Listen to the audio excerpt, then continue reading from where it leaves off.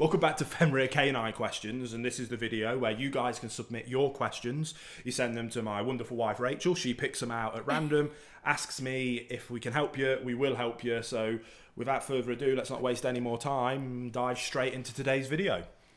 Okay, so today's video is going to be more of a general topic rather mm. than a specific question, and that's just because I've had quite a few questions about this. Good. And that is about raising two puppies together. So whether people are getting two from the same litter or two around a similar time, how you go about that basically. Okay, that's um, an excellent topic. And yes, let's make a good idea. We'll make this a dedicated video because that will be really helpful. Because a lot of people find themselves in this in this situation. So when I work with people that are getting two puppies from the same litter, first of all, you need to be aware that it is hard work. Raising one puppy is very difficult. Mm. It's also like the situation we talk about with having kids, though, that a lot, some of the areas and elements are incredibly difficult because you're managing two lunatics that are trying at every stage imaginable to kill themselves by chewing on everything that could cause them harm. They're yeah going crazy. They're pooing and weeing everywhere. So toilet training is double as hard. I just want to say that our children don't poo and wee everywhere. you know the point I'm trying to say. But in terms of like what it's like with children, if you've got two small kids, it can be carnage at times, can't it? Keeping Yeah. track of them both. But then you get to that stage where it's actually lovely because they play with each other and they'll keep themselves busy. Yeah. With dogs getting two from the same litter, there's lots of different pros and cons, uh, and it's kind of in a similar realm. Now we'll break it down into um, a couple of areas really. In terms of what most people want to know, really, is how to train Yeah. two dogs, getting them at the same time. So again, obviously, I'm always at this stage and I refer to my perfect puppy course because that is the procedure that we use when we raise our puppies. Yeah. If I coach or help people raising their puppies, it's the program that I would use in person, and it's also the program that tons of people have gone through online, and it's available at fenrirdogtraining.com. Um, and that process is a, is a lovely step by step procedure. And in that process, I always talk about building foundation layers with everything we do, whether that's manners, obedience, or socialization. Mm-hmm. Once we've built that foundation layer, which will be under zero distractions, very much one to one, you can then layer up on top of that foundation layer. That might be time, it might be distance, it might be bringing in other handlers to work on the same things when we're talking about two dogs from the same litter, I recommend that you do those foundation layers independent from each other. So you do it one to one. You put one dog in another room, or Rachel might take one dog into the living room and have a cuddle, or and then I would have one dog and do the work with them, and then you swap them over. Yeah. Now, once you've built that foundation layer, that's through kind of your traditional training methods, or usually through operant conditioning methods. Every kind of dog training comes in. After that, and that's where things can be difficult because it's twice the work. But after that, you tap into a theory called the the model rival theory, which is um, it's becoming a very popular theory in kind of the academic canine behaviour and training realms. Basically, it's around role models and it's about kind of creating a little bit of rivalry and that rivalry seeking the attention from the leader in the situation, i.e., us. Once you get to that stage, you can play off on that model rival theory or utilizing them each other as positive role model dogs, which is something that the vast majority of dog trainers implement. I do the same thing with my Labrador Sully. A lot of the work that I'm able to do, or at least a lot of the unpicking of problems, I can do through observing how Sully manages a situation with a dog. And I'm like, ah, okay, Sully's worked out what the problem is. He's shown me what the solution is. We now need to go in and do that ourselves as leaders. And you can tap into that through sibling rivalry as well. So it can make things very easy. So if one dog's having a lot of success and you're positively reinforcing that behavior, whether it's training or whether it's manners or whether it's socialization, the other dog will observe that and they will seek to replicate that good behavior. On the flip side of that, if you're correcting any form of bad behaviors, whether it's through uh, verbal corrections or you take it to a punitive level through physical corrections, the other dog will also witness that and not want to have that behavior corrected so they will also avoid wanting to do those behaviors now i've been waffling for quite a long time there so i'll let you jump in I was just going to say, so to put it simply, you keep them apart while you teach them the basics. Then once they've got that down, then you can put them together to do mm. it at the same time. Yeah. So- or in the same room. Yeah, so I might be doing. I like to work on a table with puppies just because I'm so tall and it brings them up to my level. So I might be working with one puppy here on this table, and Rachel might have the other puppy on the other side of the room on a lead, just watching, and then we'll swap over, and the other dog gets to watch, and it just. You, you'll notice that things start to scale very well. It's also brilliant for separation anxiety because they've got each other. A lot of people's concerns around them is them becoming too reliant on each other, mm. which I understand and it does happen. But that would happen, wouldn't it, if you already had an older dog in the home Yeah. as well? It's the same. and that's what I have to do when people bring that concern to me. I have to let them know, well, why are you getting two dogs if that's Yeah. a concern? If you're getting two dogs, you want them to build a good relationship and and for the positives to come out of that relationship. So in that front, I kind of tell people just not to worry. It's mm. absolutely fine. There's no worries there whatsoever.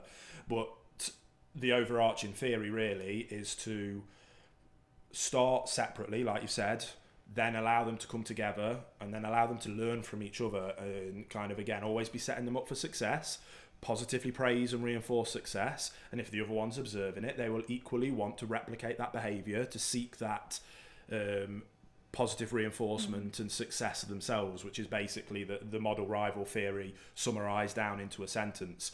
So um, again it's something that i think as is always the case, it's in the academia world now, and it will slowly get trickled down. Yeah, and I then it think all it's still in the early Yeah, so early stages of. yeah, as part of my master's degree, I've been doing a lot of kind of research around the model rival theory, and it's something that you, you explain it, and people are like, "Oh yeah, that's what we do anyway with our role model dogs." Um, but what what tends to happen is once something gets studied at an academic level, it then over five, ten years trickles down into your uh, local dog training level. So I guarantee the model rival theory, give it five years, will be something that's everywhere and everybody will be talking about it. Just how at the minute positive only and modern training methods are the in thing. Um, and for us as balanced trainers that utilise the best aspects of all areas to put as many tools in our toolbox as possible, the model rival theory is an excellent tool to use when you have sibling dogs and raising them at the same time. Okay, so away from training, um, like how would you recommend people go about having them at home? Should they share a crate? Should they share a food bowl?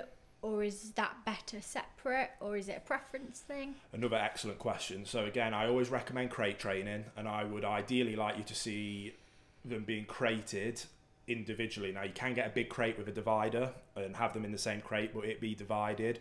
The only reason I recommend that is because unfortunately it does happen. Dogs can get ill, and they often might need to go for vets. And if they need to have an operation or stay overnight, they're going to stay in a crate. So it's always a very good thing for a dog to be comfortable on its own in a crate. Um, when they're at home, if you want them to sleep together, then they're going to sleep together for the rest of their lives. So it's no issue.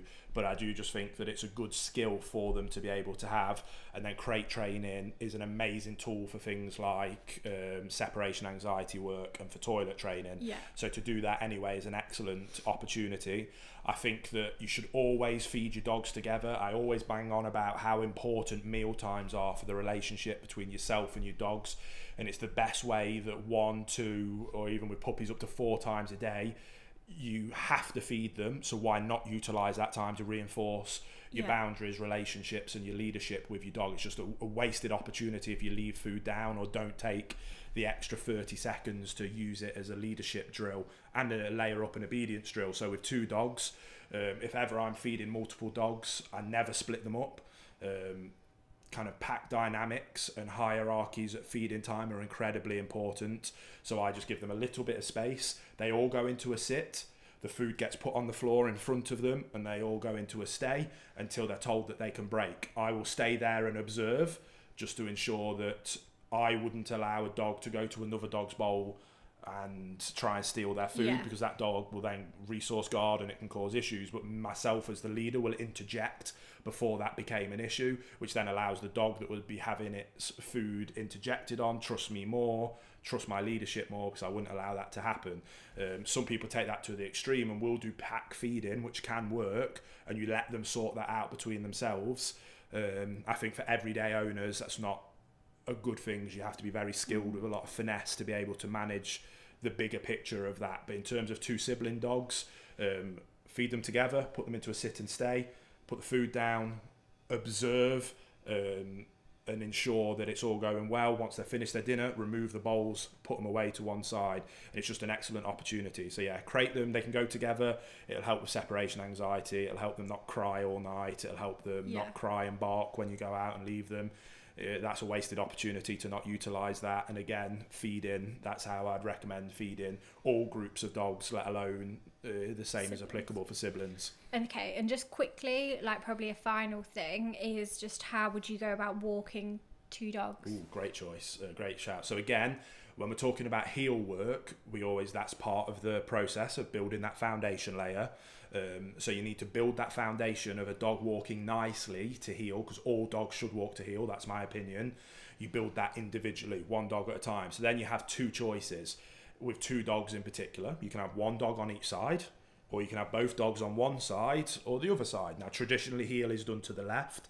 When we had Sully and I was training Mabel, I had them both to my left. Some people like one dog on either side, some people like them both to the right. That's completely up to you how you want to do that.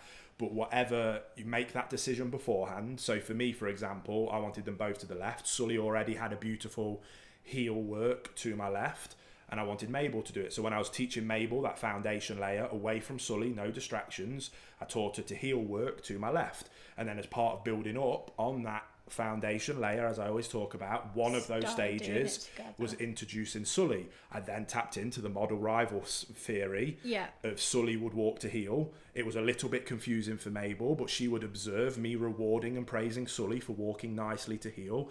They soon worked out what would happen is Sully would be a little bit further and off to the left, and Mabel would be a little bit behind and on Sully's right, but both to my left hand side. That worked out that it worked nicely. She would then do that, she'd get praised and rewarded, and then we just built up that and built up the distraction level and the complexity. So if you did have the preference to have one on either side, would you do the foundation layer on that side? So say like if you'd wanted Mabel on your right, would you have done Yeah, that on the right? the. So if? I had two siblings and I wanted one on each side, puppy A in the foundation layer would be trained to walk to heel on the left. Again, it's all in the puppy course of how to do that. Puppy B would be trained how to do it on the right. And then as part of layering up on top of that, one of those things would be them doing, Doing it, at the same time. Yeah. One on the left, one on the right. And again, it's all about starting simple, build the foundation, set them up for success by slowly building up on that over time. Not expecting too much, going for too big of a jump, them failing, you getting angry, punishing the dog, breaking down the relationship, not being calm. It's just a recipe for disaster. So build it up and then slowly build on top of that foundation layer. And that's how I do it for heel walk. Anything else? I think that's it. I'm going to zip it there before I start waffling and go off on one about that topic because that was an awesome question. Whoever answered that, thank you. That was amazing. If you want to ask a question, come over to our Instagram at Fenrir Canine Leaders. The link is down in the description box. Rachel manages all the Instagram, but she'll do it. She does uh, on a story, don't you? And you Yeah. can write your questions in the story. She saves them all and then asks them on this series. Usually at the weekend. Yeah, so um, we'll, we'll save up a batch of them. But anyway, hope you enjoyed that video. Hope it was helpful. Hope you got something from it. Um, and if you are new here, subscribe. If you enjoyed it, like, and we'll see you on the next episode of Fenrir Canine Training.